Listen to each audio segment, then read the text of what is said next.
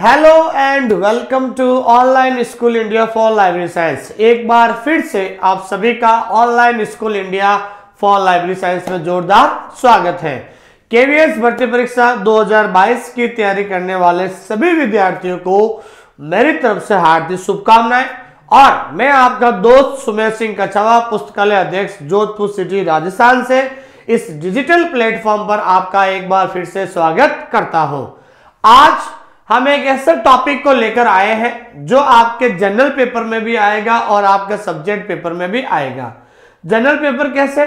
General paper का मतलब जहाँ पर आपको पता है कि जनरल हिंदी के पंद्रह क्वेश्चन है जनरल इंग्लिश के पंद्रह क्वेश्चन है रीजनिंग के ट्वेंटी क्वेश्चन है इंडिया जीके के ट्वेंटी क्वेश्चन है, और उसके बाद जो हम बात करते हैं सॉरी इंडिया जीके के टेन क्वेश्चन आएँगे और टेन क्वेश्चन आपके करंट अफेयर के होंगे। और इसके अलावा 10 क्वेश्चन जो है 10 क्वेश्चन कंप्यूटर लिटरेसी के हो गए तो इस कहने का मतलब ये है कि 100 क्वेश्चन आपके सब्जेक्ट और 10 क्वेश्चन आपका क्या हो गया भाई?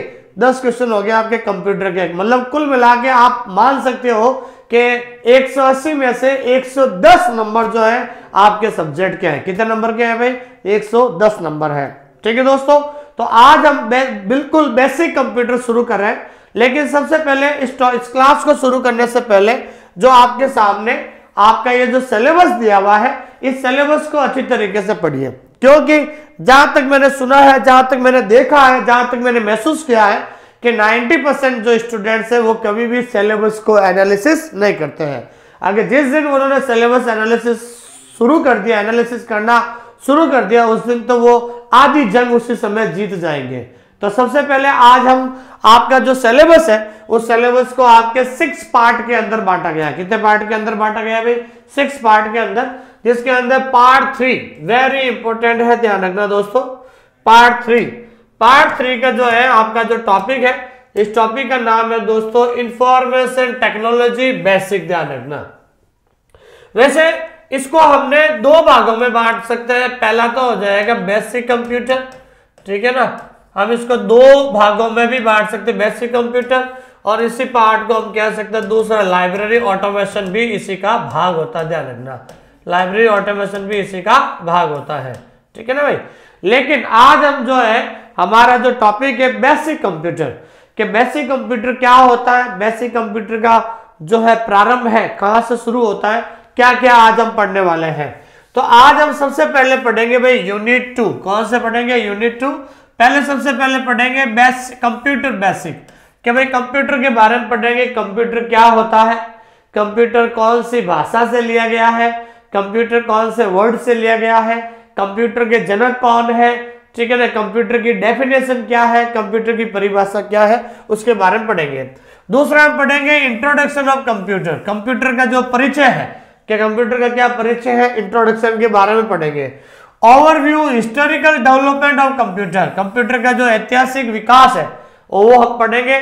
और सबसे इंपॉर्टेंट टॉपिक है जनरेशन ऑफ़ कंप्यूटर जनरेशन का मतलब होता है पीडिया कंप्यूटर की जो पीडिया होती है जनरेशन है, उनके बारे में पढ़ेंगे। एंड क्लासिफिकेशन ऑफ़ कंप्यूटर्स और कंप्यूटर्स के क्लासिफिकेशन क्लासिफिकेशन का मतलब होता है प्रकार। या कह सकते हैं टाइप्स ध्यान रखना। ये चीज़ें हम पढ़ने वाले हैं।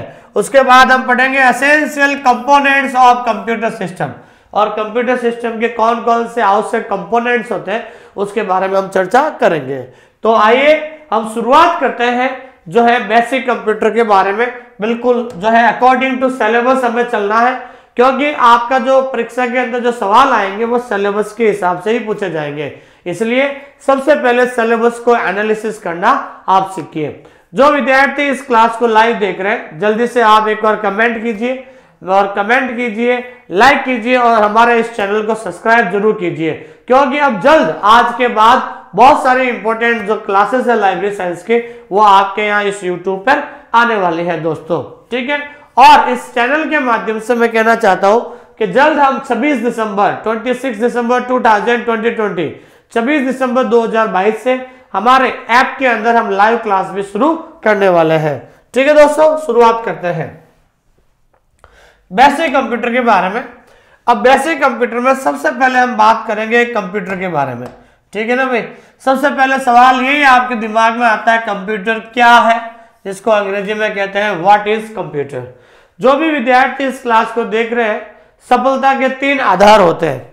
तीन आधार कौन से होते हैं? अगर वास्तव में आप केवीएस में सिलेक्शन चाहते हो तो आपके तीन सिलेक्शन के आधार है। पहला आधार है मेकिंग हैंड रिटर्न नोट्स पहले जो भी मैं पढ़ा रहा हूँ, अच्छी तरीके से नोट्स नोट्स जो है ज़रूर बनाइए, ठीक है?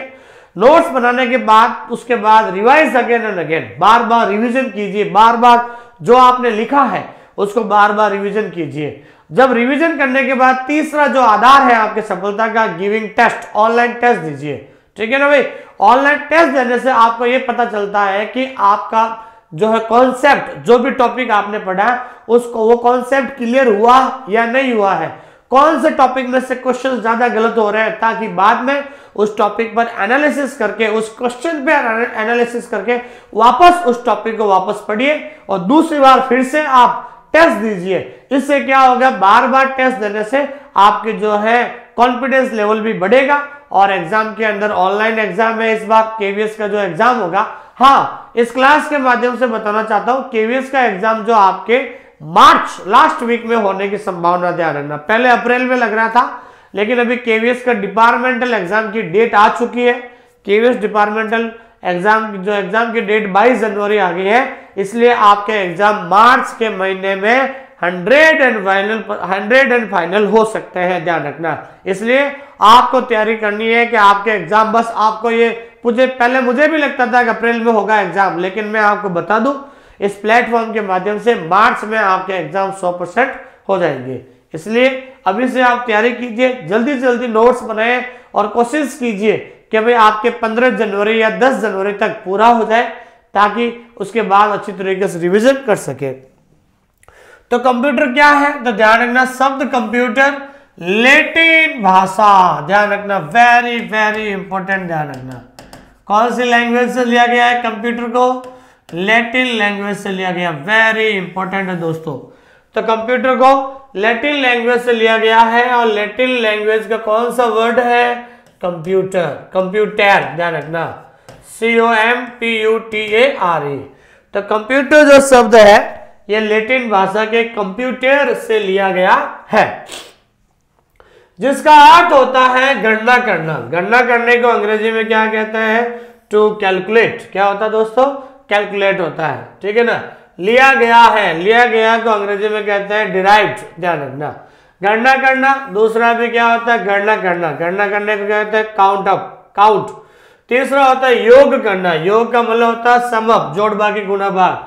या एक साथ सोचना, एक साथ सोचने को अंग्रेज़ी में कहते हैं टू थिंक टुगेदर एक साथ सोचना।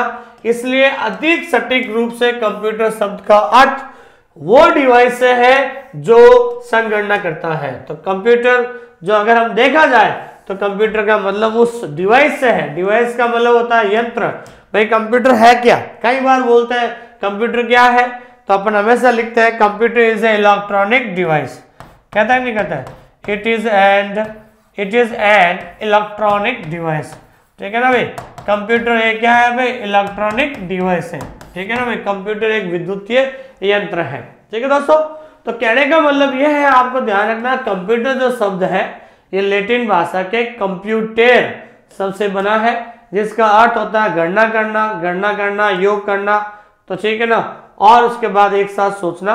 और कंप्यूटर एक ऐसी डिवाइस है जिसका मतलब वह संगणना करता है। संगणना का मतलब होता है कंप्यूटेशन, ध्यान रखना। सभी तरह की जो गणना करता है, उसको संगणना कहते हैं। तो आपका जो ये इंट्रोडक्शन है, इसमें दो क्वेश्चन बनते हैं। पहला है कि कंप्यूटर कौन सी भाषा से बना है? ध्यान रखना, कौन सी भाषा सॉरी कौन सी भाषा से शब्द लिया हुआ है? तो कंप्यूटर ध्यान रखना लेटिन भाषा से लिया गया कौन से शब्द से?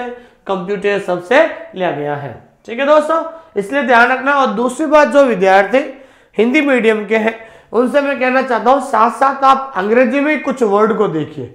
साथ साथ हिंदी, इंग्लिश, साथ में बाईलिंगुअल चलेगा ना तो आपको सवाल को समझने में बहुत ज़्यादा आसानी रहेगी। ये चीज़ आपको ध्यान में रखना है।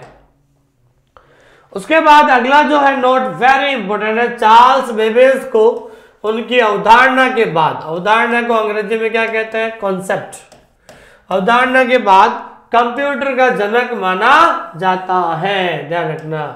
क्या माना जाता है भाई? कंप्यूटर का जनक। तो वेरी इंपॉर्टेंट क्वेश्चन है।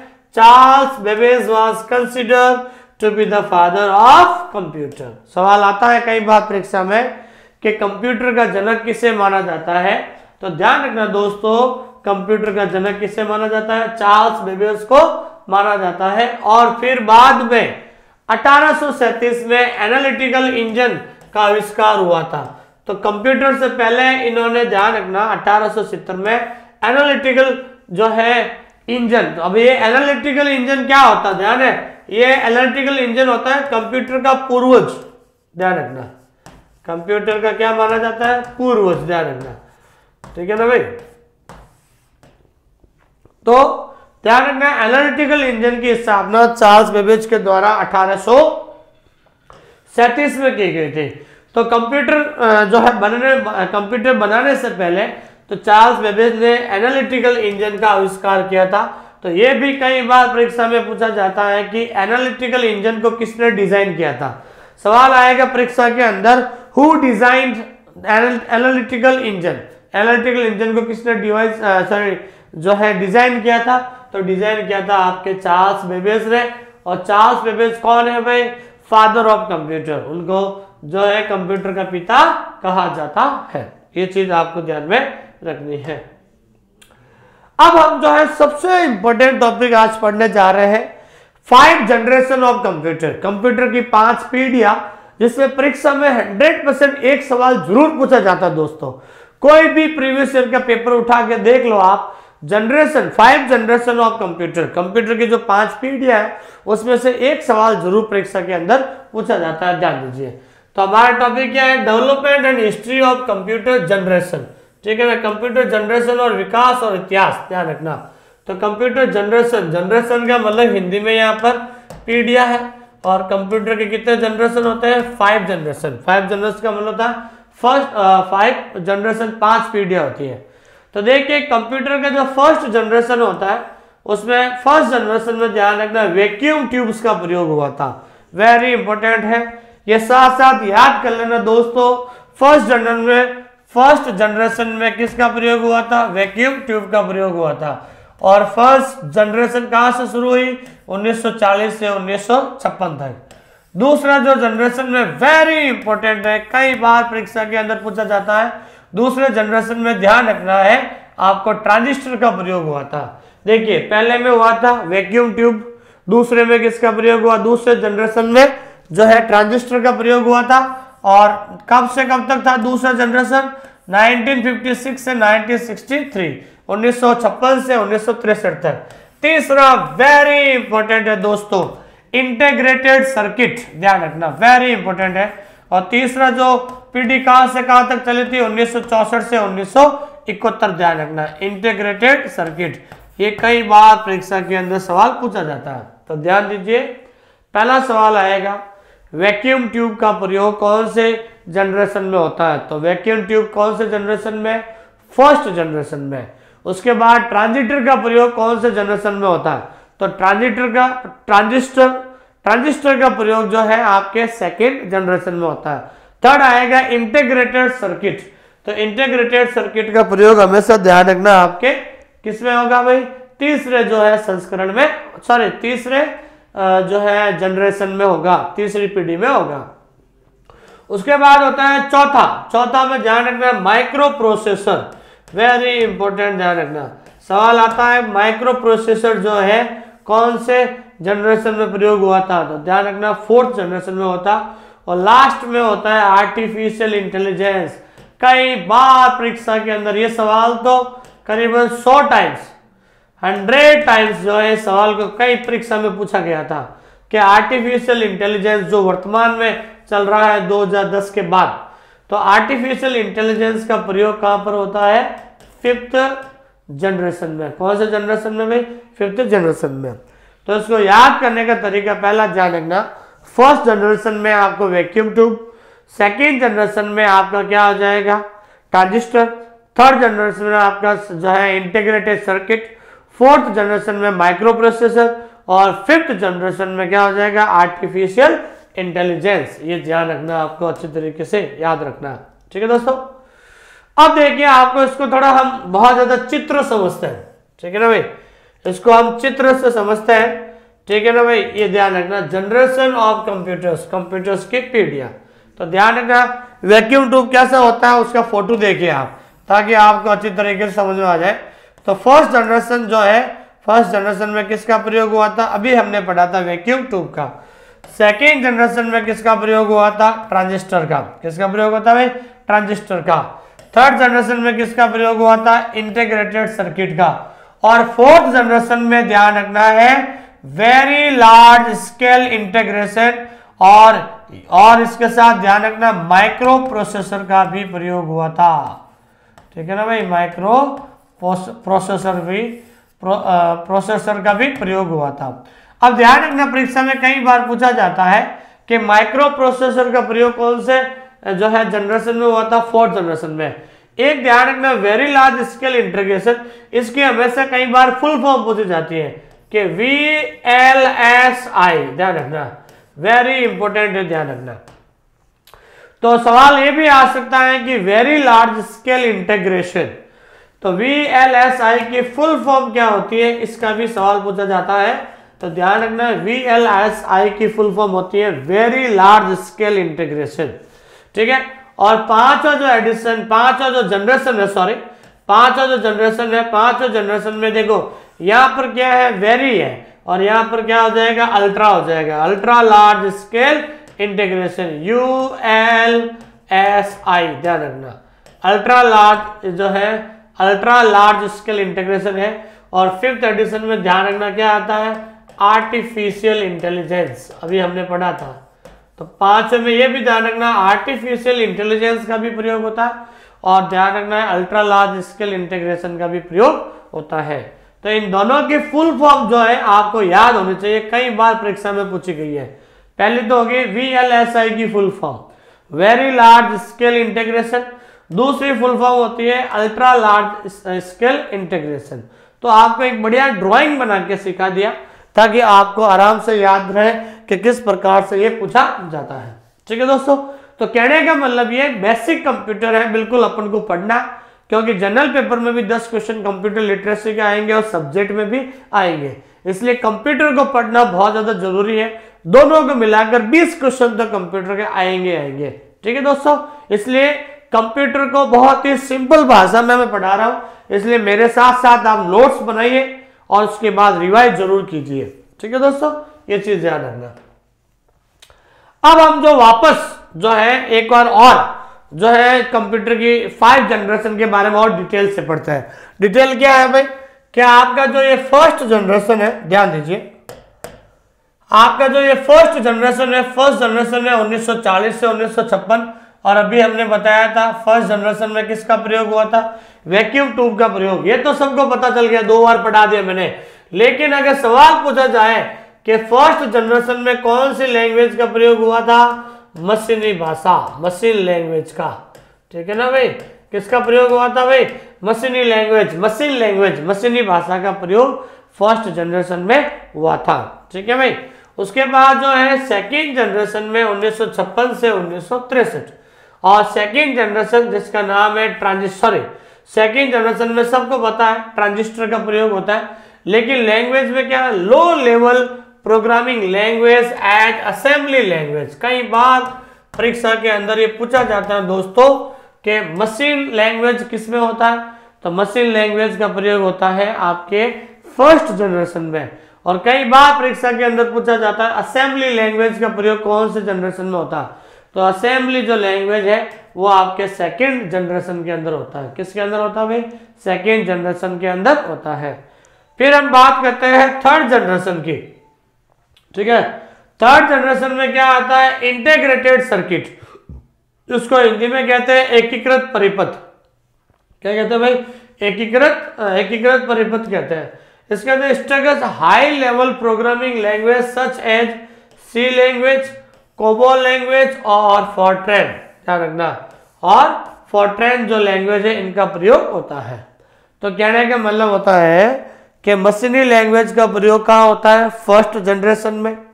दूसरा असेंबली लैंग्वेज जो लो लेवल लैंग्वेज होती है, वो किसका प्रयोग कहाँ होता है? सेकेंड जनरेशन में। और तीसरा जो होता है हाई लेवल जो प्रोग्रामिंग लैंग्वेज होती है, चाहे वो सी हो, चाहे कोबोल हो, चाहे वो फोर्ट्रेन हो, इनका प्रयोग हमेशा थर्ड थर्ड जनरेशन में होता है। और जहाँ पर किसका प्रयोग होता है? इंटेग्रेटेड सर्किट का प्रयोग होता है। ठीक है? उसके बाद हम बात करते हैं फोर्थ जनरेशन। क्या है भाई? Fourth generation. और फोर्थ जनरेशन में ध्यान रखना वी एल एस आई इसकी फुल फॉर्म आपको याद रखना अच्छी तरीके से। तो वी एल एस आई की फुल फॉर्म क्या होती है दोस्तों? वेरी लार्ज स्केल इंटेग्रेशन ध्यान रखना। यहाँ पर पीछे वर्ड याद रखना इंटेग्रेशन तो फोर्थ जनरेशन में V L S I circuit का प्रयोग होता है। तो एक तो सवाल आएगा कि V L S I circuit का प्रयोग कौन से जनरेशन में होता है कि फोर्थ जनरेशन में? दूसरा सवाल बनेगा कि इसकी फुल फॉर्म क्या होती है? तो वेरी लार्ज स्केल इंटीग्रेशन और उसके बाद जैसे माइक्रो प्रोसेसर तो माइक्रो प्रोसेसर भी कौन से जनरेशन में प्रयोग हुआ था? ध्यान रखना आपके फोर्थ जनरेशन में. Non procedural high level language such as object oriented language और ध्यान रखना फोर्थ में ऑब्जेक्ट ओरिएंटेड लैंग्वेज का प्रयोग किया गया था। किसका प्रयोग किया गया था भाई? ऑब्जेक्ट ओरिएंटेड लैंग्वेज का प्रयोग हुआ जो हाई लेवल से जो हाई लेवल लैंग्वेज ही होती है। लेकिन एक लैंग्वेज का प्रकार है जब हम लैंग्वेज पढ़ेंगे तो उसके बारे में पूरा ऑब्जेक्ट ओरिएंटेड लैंग्वेज क्या होता है उसके बारे में चर्चा करेंगे। तो फोर्थ एडिशन में तीन सवाल बनेंगे कि माइक्रो प्रोसेसर का प्रयोग कब हुआ कि फोर्थ एडिशन में? वीएलएसआई का सर्किट का प्रयोग कब हुआ? कि फोर्थ एडिशन में। और अगला जो सवाल बनेगा कि वीएलएसआई की फुल फॉर्म क्या होती है? वेरी लार्ज स्केल इंटीग्रेशन क्या होती है full form very large integrate very large scale integration इसकी ये फुल फॉर्म होती है। फिर होता है भाई फिफ्थ जनरेशन क्या होती है दोस्तों? फिफ्थ जनरेशन जो 1980 से अभी तक है। कई जगह 2010 भी दिया हुआ है। तो फिफ्थ जनरेशन में ध्यान रखना दोस्तों आर्टिफिशियल इंटेलिजेंस क्या होता है भाई? आर्टिफिशियल इंटेलिजेंस का प्रयोग किसमें होता है भाई? फिफ्थ जनरेशन में होता है। किसमें होता है? फिफ्थ जनरेशन में। और यहाँ पर ध्यान रखना यू एल एस आई तो यहाँ पर वी एल एस आई का प्रयोग फोर्थ एडिशन में होता है। यू एल एस आई का प्रयोग कहा होता है? फिफ्थ में। यू एल एस आई की फुल फॉर्म क्या होती है? Ultra large scale integration technology logic program जो लॉजिक प्रोग्राम से संबंधित रखती है। तो सवाल यह आएगा परीक्षा के अंदर कि आर्टिफिशियल इंटेलिजेंस का प्रयोग कौन से जनरेशन में होता है? तो आपका आंसर होगा फिफ्थ जनरेशन क्या होगा दोस्तों? फिफ्थ जनरेशन होगा। अगर सवाल आ जाए कि ultra large scale integrated technology या सर्किट का प्रयोग कौन सा होता है? तो फिफ्थ जनरेशन होगा। इनकी फुल फॉर्म ज़रूर आपको याद रखनी है। ठीक है दोस्तों? तो इसी प्रकार से अभी हमने जो है कंप्यूटर के जो फाइव कंप्यूटर के जो फाइव जो जनरेशन है, उसके बारे में हमने पढ़ा। और यहाँ से ही परीक्षा के अंदर सवाल पूछे जाते हैं। इसलिए आपको हर जनरेशन के अंदर क्या क्या आया है क्या क्या दिया गया है, अच्छी तरीके से आपको ध्यान में रखनी है। ठीक है दोस्तों? फिर ये कई बार परीक्षा के अंदर सवाल पूछा जाता है दोस्तों कि विश्व कंप्यूटर साक्षरता दिवस हर साल 2 दिसंबर को मनाया जाता है। World computer literacy day is celebrated second December. ये कई बार पूछा जाता है कि भाई world day computer sorry world computer literacy day computer साक्षरता दिवस 2 दिसंबर को मनाया जाता जो अभी गया था 2 दिसंबर और इसे 2001 से मनाया जा रहा है। वेरी इंपॉर्टेंट है। और कम, वर्ल्ड कंप्यूटर लिटरेसी डे को कब से मनाया जा रहा है? सिंस 2001 2001 से इसको बनाया जा रहा है। वेरी वेरी इंपॉर्टेंट है दोस्तों। ये चीज़ आपको ध्यान में रखनी है। ठीक है? अब हम बात करते हैं कि भाई कई बार ये सवाल पूछा जाता है कि फ़र्स्ट इलेक्ट्रॉनिक कंप्यूटर कौन सा था? कई बार सवाल पूछा जाता है।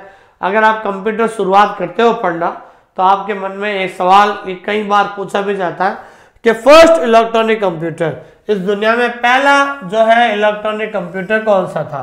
तो ध्यान रखना, पहला इलेक्ट्रॉनिक कंप्यूटर का नाम था इनियाक। क्या नाम था दोस्तों? इनियाक नाम था, ध्यान रखना। अब न्याय की फुल फॉर्म याद रखना आपको दोस्तों। Electronic numerical integrator and computer ध्यान रखना।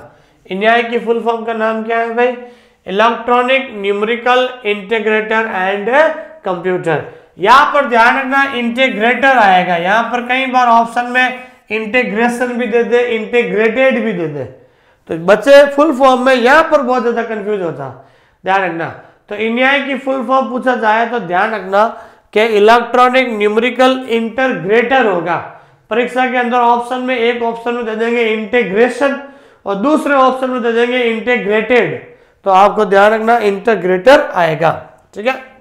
और पेंसिल्वेनिया विश्वविद्यालय के Moore school of electronic engineering में जॉन मोचली, दो व्यक्ति का नाम ध्यान रखना, जॉन मोचली और जे प्रेस पर एकड़ द्वारा निर्मित किया गया था। तो वेरी इंपॉर्टेंट दोस्तों, बिल्ट बाय बिल्ट बाय का मतलब होता है निर्माण करना। जो ये फ़र्स्ट इलेक्ट्रॉनिक कंप्यूटर है, जिसका नाम क्या है दोस्तों? इनियाक। इसकी फुल फॉर्म आपको याद रखना electronic numerical integrator and computer इसका जो आविष्कार किसके द्वारा किया गया? दो व्यक्ति थे, John Mauchly and J Presper Eckert at the Moore school of electrical engineering of the university of, जो है, ऑफ़ पेंसिल, पेंसिल्वेनिया। कौन सा है भाई?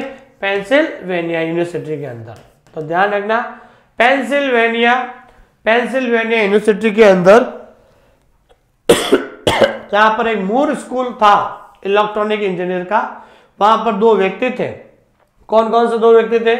John Mauchly. ध्यान रखना, याद रखना व्यक्ति का नाम। जॉन मॉचली और जे प्रेस पर एकट दो व्यक्ति का नाम याद रखना।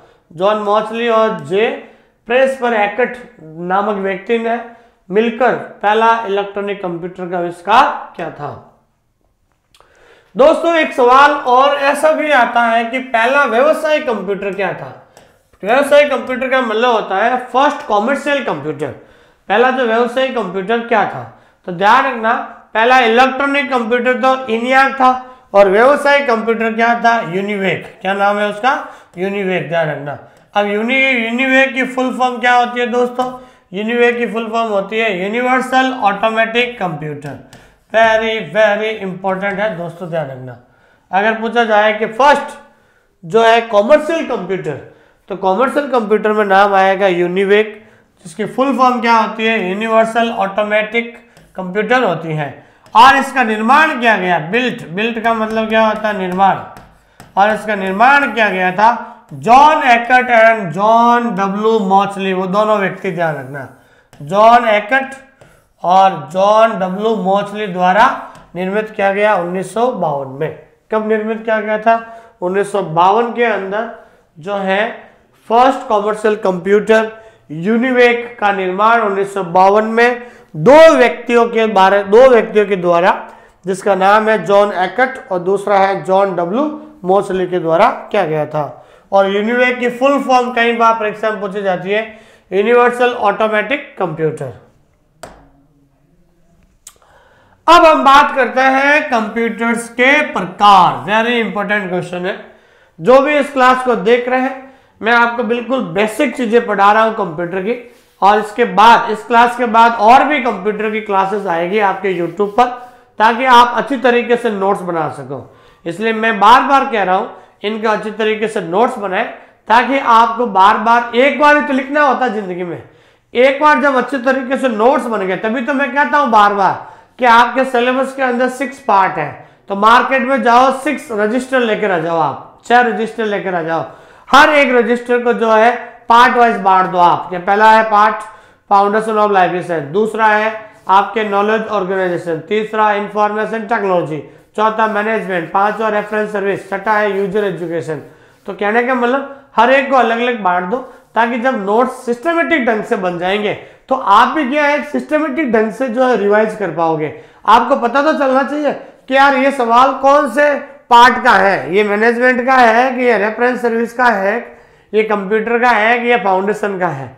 तो इसलिए नोट्स इसलिए मैं बार बार आपको फोकस क्यों कर रहा हूँ? नोट्स बनाइए आप, ताकि सिस्टमेटिक ढंग से अगर नोट्स बनेंगे तो आप सिस्टमेटिक ढंग से तैयारी कर पाएँगे, क्योंकि आपके द्वारा लिखा गया, ठीक है ना? और एक चीज़ मैं आपको इस क्लास के माध्यम से कहना चाहता हूँ, कुछ बच्चे कहते हैं कि, सर, हमें पीडीएफ दे दो। तो मैं आपको इस क्लास के माध्यम से कहना चाहता हूँ पीडीएफ आपको डाउनलोड नहीं की जा सकती है। हमने हमारे कोर्स के जो है, उसमें इंस्ट्रक्शन में लिख दिया है कि पीडीएफ डाउनलोड नहीं कर सकते हैं। तो आपको मान लो पीडीएफ दे भी देते हैं। आपको पता है आजकल कंटेंट कहाँ कहाँ जो है चला जाता है। ठीक है ना? आपको पीडीएफ डाउनलोड वाला ऑप्शन दे दिए तो पीडीएफ वहाँ टेलीग्राम ग्रुपों के अंदर चली जाएगी व्हाट्सएप ग्रुप के अंदर चली जाएगी। तो किस पर विश्वास किया जाता है? किसी पर विश्वास नहीं किया जा सकता। क्योंकि चार साल की जो मेहनत है, चार साल जो मैंने स्ट्रगल किया लाइब्रेरी साइंस में वो आपको जो कंटेंट है, वो डायरेक्ट आपको online school India online school India app के माध्यम से आपको पहुँचाया जा रहा है ताकि आपको इधर उधर नहीं जाना पड़े, ठीक है? और टेस्ट सीरीज़ ज़रूर दीजिए, हमारी टेस्ट सीरीज़ शुरू हो चुकी है, बहुत ज़्यादा जल्द टेस्ट सीरीज़ शुरू हो चुकी है डेली टेस्ट सीरीज़ आ रही है, ज़रूर दीजिए। उसके बाद हम बात करते हैं, जैसा कि हम जानते हैं कि कंप्यूटर एक इलेक्ट्रॉनिक डिवाइस है इसे तीन श्रेणियों में बांटा जा सकता है। पता है भाई, इलेक्ट्रॉनिक एक कंप्यूटर एक इलेक्ट्रॉनिक डिवाइस है और कंप्यूटर को तीन श्रेणियों में बांटा जा सकता है। पहला कौन सा कंप्यूटर होता है? Analogue computer. दूसरा कौन सा होता है? Digital computer. और तीसरा कौन सा होता है? Hybrid computer. तो पहला कंप्यूटर हो गया एनालॉग कंप्यूटर। दूसरा हो गया डिजिटल कंप्यूटर। ठीक है ना भाई? ए डी एच, याद रखना। ए डी एच रखना। ठीक है ना? ए डी एच ठीक है ना? ए डी एच का मतलब क्या होता है? A for analogue D for digital और एच फॉर का मतलब होता है हाइब्रिड कंप्यूटर ध्यान रखना एनालॉग डिजिटल और हाइब्रिड कंप्यूटर होता है। ठीक है? अब एनालॉग कंप्यूटर क्या होता है? इसके बारे में हम जानते हैं, इसकी परिभाषा क्या है? अच्छी तरीके से समझिए आप। कि वे कंप्यूटर जो भौतिक मात्राओं जैसे दाब, तापमान, लंबाई व्यक्त करते हैं, वो एनालॉग कंप्यूटर कहलाते हैं। किसकी मात्रा को भाई? भौतिक मात्रा। भौतिक मात्रा का मतलब क्या होता है दोस्तों? फ़िज़िकल क्वांटिटीज जैसे दाब है, जैसे तापमान है टेम्परेचर है, लंबाई है, इसको व्यक्त करते हैं। और वेरी इंपॉर्टेंट है दोस्तों, कई बार परीक्षा के अंदर पूछा जाता है कि वोल्ट मीटर और बैरोमीटर इत्यादि एनालॉग यंत्र के उदाहरण होते हैं। ये सवाल कई बार परीक्षा के अंदर पूछा जाता है कि वोल्ट मीटर और बेरोमीटर किसके एग्ज़ाम्पल होता है? तो हमेशा ध्यान रखना है वोल्ट मीटर और बेरोमीटर जो होते हैं, वो एनालॉग कंप्यूटर के एग्ज़ाम्पल होते हैं। अब आपको पता करना है कि sir analogue computer analogue computer क्या होता है? तो इसका एग्ज़ाम्पल है कि पेट्रोल पंप पर लगा हुआ स्पीडोमीटर एनालॉग कंप्यूटर का एक अच्छा उदाहरण माना जाता है। जब भी आप पेट्रोल पंप पर जाते हो, तेल भराने के लिए, पेट्रोल भराने के लिए जाते हो तो वहाँ पर जो जो स्पीड मीटर आता है, ठीक है, जो जो आपका जो है, वहाँ पर फिक्स किया जाता है, और स्पीड मीटर आता है जिसमें आपके जो है, गाड़ी में तेल डाला जाता है, पेट्रोल डाला जाता है तो जो स्पीड मीटर जो होता है स्पीड जो मीटर होता है, वो किसका उदाहरण होता है भाई? एनालॉग कंप्यूटर तो एनालॉग कंप्यूटर का जो ज़्यादातर प्रयोग पेट्रोल पंप पर होता है स्पीडोमीटर के रूप में होता है। ये चीज़ आपको ध्यान में रखनी है। उसके बाद हम बात करते हैं हाइब्रिड कंप्यूटर। ठीक है भाई? अब हाइब्रिड कंप्यूटर क्या होता है? तो ध्यान दीजिए, वे कंप्यूटर जिनमें एनालॉग कंप्यूटर और डिजिटल कंप्यूटर दोनों के गुण मौजूद होते हैं, वो हाइब्रिड कंप्यूटर कहलाता है। कि इस प्रकार के कंप्यूटर जिसमें एनालॉग कंप्यूटर और डिजिटल कंप्यूटर दोनों के गुण मौजूद होते हैं उसको क्या कहते हैं भाई? हाइब्रिड कंप्यूटर कहते हैं। ठीक है ना?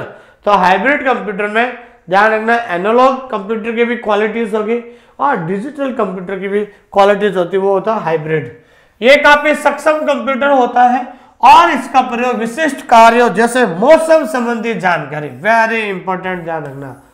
तो मौसम संबंधित जो जानकारी है, वो कहाँ से मिलती है भाई? हाइब्रिड कंप्यूटर से। अंतरिक्ष विज्ञान संबंधित कार्यों के लिए भी किया जाता है। स्पेस साइंस अंतरिक्ष विज्ञान, अर्थात स्पेस साइंस के लिए भी किसका प्रयोग होता है? कंप्यूटर का प्रयोग होता है। सॉरी हाइब्रिड कंप्यूटर का प्रयोग होता है। तो हाइब्रिड हाइब्रिड कंप्यूटर का परिभाषा यही है कि ऐसी जो ऐसा कंप्यूटर जिसमें एनालॉग कंप्यूटर और डिजिटल कंप्यूटर के गुण मौजूद होते हैं, और ये हमेशा ध्यान रखना, विशिष्ट कार्य के लिए स्पेशल जो टास्क होता है, उसके लिए होता है जैसे मौसम संबंधी जानकारी है, ठीक है, या अंतरिक्ष विज्ञान से संबंधित कार्य होता है, वो हाइब्रिड कंप्यूटर में होता है। तीसरा और लास्ट जो हम बात करते हैं डिजिटल कंप्यूटर वे कंप्यूटर जो अंकों की गणना करते हैं डिजिटल कंप्यूटर कहलाता है, ध्यान रखना। अंकों का मतलब क्या होता है दोस्तों? नंबर्स ध्यान रखना। The computer that calculate numbers जो अंकों की गणना करते हैं, वो क्या कहलाते हैं? डिजिटल कंप्यूटर कहलाते हैं। और डिजिटल कंप्यूटर दो अंकों मतलब ज़ीरो और एक, याद रखना, की पद्धति पर आधारित होते हैं। वेरी वेरी इंपॉर्टेंट जो डिजिटल कंप्यूटर होता है, जो हमेशा दो अंक, जिसका नाम है ज़ीरो और एक ज़ीरो ज़ीरो और एक की पद्धति पर आधारित होता है। और इसका एक अच्छा उदाहरण होता है, वो होता है डिजिटल घड़ी। जो भी डिजिटल घड़ी आती है ना आजकल बच्चे जो हाथ पर पहनते हैं, ठीक है डिजिटल घड़ी जो होती है, ऐसे क्लिक कर वगैरह करते हैं। तो डिजिटल जो घड़ी होती है डिजिटल जो वॉच होती है, वो क्या होगा? एक डिजिटल का, ये इसका एक अच्छा उदाहरण हो सकता है। इसकी गति तीव्र होती है तथा ये करोड़ों गणनाएँ प्रति सेकेंड कर सकता है। ये जो जो गणनाएँ हैं, करोड़ों गणनाएँ जो है प्रति सेकेंड कर सकता है। और आधुनिक कंप्यूटर कंप्यूटर में द्विधारी पद्धति वेरी इंपॉर्टेंट है। बाइंड्री सिस्टम का प्रयोग किया जाता है। बाइंड्री सिस्टम हो गया भाई, अभी बताया था bit zero to zero one sorry bit का मतलब क्या हो गया? ज़ीरो और वन तो बाइंड्री सिस्टम का प्रयोग किसमें होता है दोस्तों? आजकल आधुनिक डिजिटल कंप्यूटर में बाइंड्री सिस्टम का प्रयोग भी किया जाता है। उसके बाद हम बात करते हैं डिजिटल लाइब्रेरी के बारे में। आकार एवं क्षमता के आधार पर डिजिटल कंप्यूटर को चार भागों में बांटा जा सकता है। कौन से चार भाग है भाई दोस्तों? तो ध्यान रखना, उसमें पहला तो हो गया माइक्रो कंप्यूटर मतलब डिजिटल कंप्यूटर को भी, उनके जो साइज़ है, उनकी जो कैपेसिटी है, उनके आधार पर जो चार भागों में बांटा जाता है। तो ध्यान रखना आपको, इसमें डिजिटल कंप्यूटर को चार भाग कौन से हो गए? माइक्रो कंप्यूटर दूसरा हो गया मिनी कंप्यूटर तीसरा हो गया मेन फ्रेम कंप्यूटर और चौथा हो गया आपके सुपर कंप्यूटर पहला कौन सा हो गया? माइक्रो कंप्यूटर ठीक है ना दोस्तों? दूसरा हो गया मिनी कंप्यूटर तीसरा हो गया मेन फ्रेम कंप्यूटर और चौथा हो गया सुपर कंप्यूटर हो गया आपके। तो डिजिटल कंप्यूटर को चार भागों में डिवाइड किया गया है। ठीक है दोस्तों? ये चीज़ ध्यान रखना। तो कंप्यूटर तीन प्रकार के हो गए एनालॉग डिजिटल और हाइब्रिड है। और डिजिटल को चार भागों में बांटा गया है। ठीक है दोस्तों?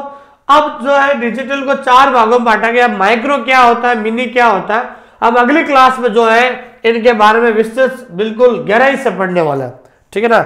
डिजिटल चार प्रकार के होते हैं। इनके बारे में हम गहराई से अगली क्लास में, इसी यूट्यूब चैनल पर अगली क्लास में ज़रूर पढ़ेंगे, ताकि पता चले भी डिजिटल को चार भाग है। माइक्रो कंप्यूटर क्या होता है? मेन फ्रेम क्या होता है? सुपर कंप्यूटर क्या होता है? मिनी कंप्यूटर क्या होता है? उसके बारे में चर्चा करेंगे। लेकिन अभी तक जो हमने बेसिक कंप्यूटर शुरू किया था, उससे रिलेटेड कुछ सवाल जो हम करके देखते हैं। पहला जो सवाल है, वह शब्द कंप्यूटर से लिया गया है। The term computer is derived from तो कंप्यूटर जो शब्द है, ये कौन सी भाषा से लिया गया है हमें? ये ध्यान रखना, मैंने पढ़ाया था। ये आपके ध्यान रखना लेटिन भाषा से। ध्यान रखना, कौन सी भाषा से भाई? लेटिन भाषा से इस कंप्यूटर को लिया गया है और वो शब्द, कंप्यूटर शब्द किससे बना है भाई? कंप्यूटर।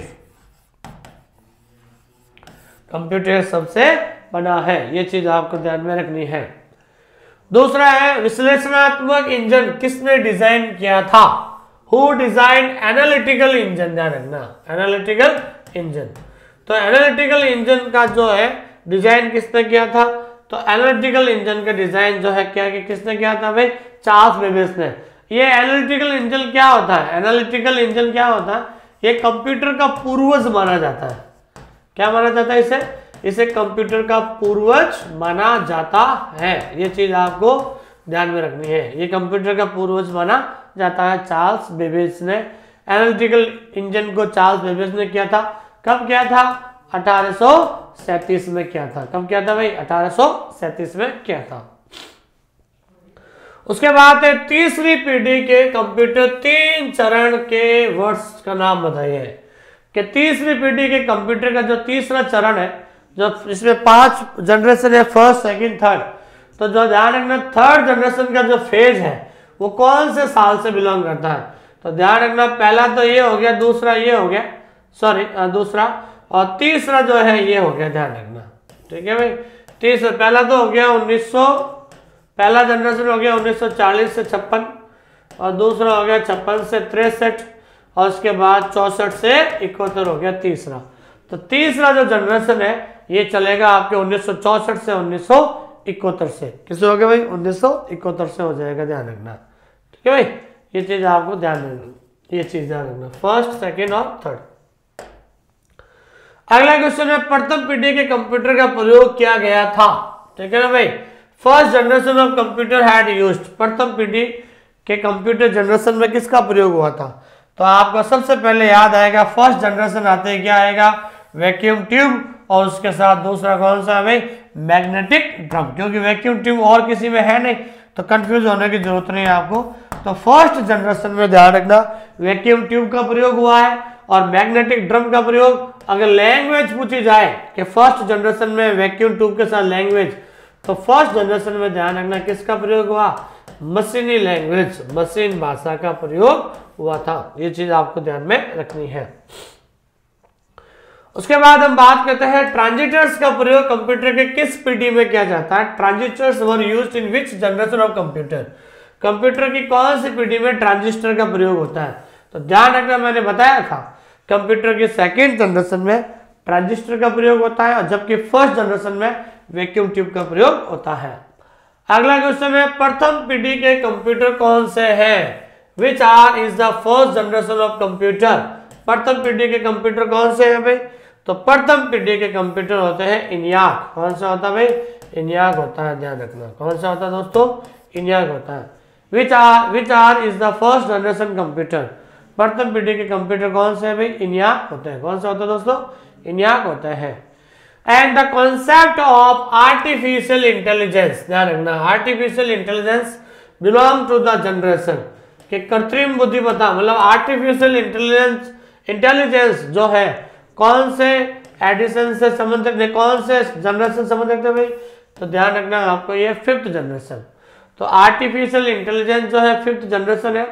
और फिफ्थ जनरेशन में एक और आता है U L S I U L S I का मतलब क्या होता है? अल्ट्रा एल का मतलब क्या होता है? लार्ज और अल्ट्रा लार्ज एस एस का मतलब अल्ट्रा वेरी लार्ज एस का मतलब स्केल और आई का मतलब होता है इंटेग्रेशन क्या होता है दोस्तों? इंटेग्रेशन ध्यान रखना।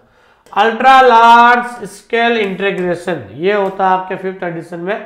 और फोर्थ एडिशन में होता है V L S C very large scale integration होता है, ध्यान रखना। कंप्यूटर की कितनी पीढ़ियाँ हैं? तो आपको पता है, कंप्यूटर की पाँच पीढ़ियाँ होती है। फ़र्स्ट सेकेंड थर्ड फोर्थ और फिफ्थ होता है। अगला क्वेश्चन लेते हैं दोस्तों नाइन्थ क्वेश्चन है, जिसका नाम है जिस सवाल का सवाल है कि इनिया का अर्थ होता है। मतलब इनिया स्टैंड फॉर इनिया की फुल फॉर्म क्या होती है? तो मैंने बताया था यहाँ पर बहुत ज़्यादा इसका आंसर ये होगा इलेक्ट्रॉनिक न्यूमरिकल यहाँ पर बहुत ज़्यादा कंफ्यूजन होते हैं, ध्यान रखना इंटेग्रेटेड होगा। वहाँ ऑप्शन में इंटेग्रेशन भी होगा इंटेग्रेटेड भी होगा। एंड यहाँ पर ध्यान रखना, आपको कंप्यूटर कर देना क्या कर देना भाई? कंप्यूटर कर देना है। ठीक है ना? एंड कंप्यूटर ध्यान रखना। ठीक है दोस्तों? तो इन्याय की फुल फॉर्म क्या होती है? Electronic numerical integrator and computer ये ऑप्शन आपका क्या होगा? सही होगा। उसके बाद लास्ट और फाइनल क्वेश्चन है वी एल एस आई तो वी एल एस आई की फुल फॉर्म क्या होती है? वेरी लार्ज स्केल इंटीग्रेशन क्या फुल फॉर्म होती है भाई? वेरी लार्ज स्केल इंटीग्रेशन इसका जो प्रयोग है फोर्थ जनरेशन में होता है। कौन से जनरेशन में? फोर्थ जनरेशन में। और फोर्थ जनरेशन में माइक्रो प्रोसेसर का भी प्रयोग हुआ था। इसका प्रयोग हुआ था? माइक्रो प्रोसेसर का भी प्रयोग हुआ था। ठीक है दोस्तों? तो बहुत बहुत धन्यवाद आप सभी मेरे साथ रहे और इस क्लास में लास्ट में जाते हुए मैं फिर से कह रहा हूँ, सफलता के तीन ही आधार हैं। मैक हैंडिटन नोट्स नोट्स बनाइए बार बार रिवीजन कीजिए और टेस्ट सीरीज़ दीजिए। कई लोग बता दो, मैं आपको किताबों से पढ़ रहे हैं, अच्छी बात है। लेकिन वो जल्दी से जल्दी टाइम निकाल कर आप नोट्स बनाए ताकि एक ही जगह पर आपको सब कुछ लिख सके। लेकिन ऑनलाइन स्कूल इंडिया एक ऐसा प्लेटफॉर्म है आपको इधर उधर भागने की ज़रूरत नहीं है। एक ही जगह पर सब कुछ मिल जाएगा। थ्योरी भी मिल जाएगा। हिंदी और इंग्लिश बाइलिंगुअल में भी मैटर मिल जाएगा। और सबसे इंपॉर्टेंट है फाइव थाउज़ेंड क्वेश्चन पाँच हज़ार क्वेश्चन जो आपको मिल जाएँगे इसी के अंदर। हमारी टेस्ट सीरीज़ शुरू हो चुकी है ट्वेंटी फ़र्स्ट नवंबर से शुरू हो चुकी है, जो आपके जब तक एग्ज़ाम नहीं होंगे तब तक ये चलता रहेगा। और टेस्ट सीरीज़ भी हमारी जो पार्ट वाइज है पार्ट वाइज का मतलब होता है part one, part two, part three, उस हिसाब से जो टेस्ट सीरीज़ डाली गई है। और टेस्ट सीरीज़ के अंदर भी क्वेश्चन और आंसर जो है, वो बिल्कुल बाईलिंगुअल दिए हुए, ताकि आप अच्छी तरीके से समझ सके। तो आप सभी विद्यार्थियों से निवेदन है लास्ट में जाते हुए हमारे इस चैनल को सब्सक्राइब कीजिए और सब्सक्राइब करने के बाद कमेंट ज़रूर कीजिए, ताकि आपके कमेंट मुझे मोटिवेट करता है इंस्पायर करता है, प्रेरित करता है कि मैं आपके लिए बहुत अच्छा सा और अच्छे से टॉपिक की क्लास लेकर आऊँ। ठीक है? और अधिक जानकारी के लिए हमारे डिस्क्रिप्शन के अंदर जो नंबर दिए हुए हैं, वो हमारे कॉन्टेक्ट नंबर दिए हुए डिस्क्रिप्शन के अंदर, ठीक है ना? उस पर आप जो है बिल्कुल बात कर सकते हैं और हमारा जो नंबर है जो है नंबर है, इसको आप जो है लिख लीजिए। Eight nine four nine double nine two three six one ये मेरे नंबर है, आप कभी भी इस पर फ़ोन कर सकते हैं, ध्यान रखना। Eight nine four nine double nine two three six one. ये मेरे नंबर है। अगर आपको कोर्स से संबंधित कोई बात करनी है टेस्ट सीरीज़ से संबंधित कोई बात करनी है तो ये मेरे नंबर है। इस नंबर पे आप कभी भी जो है बात कर सकते हैं। ये सिक्स है, ध्यान रखना, सिक्स वन। ठीक है दोस्तों? Thank you very much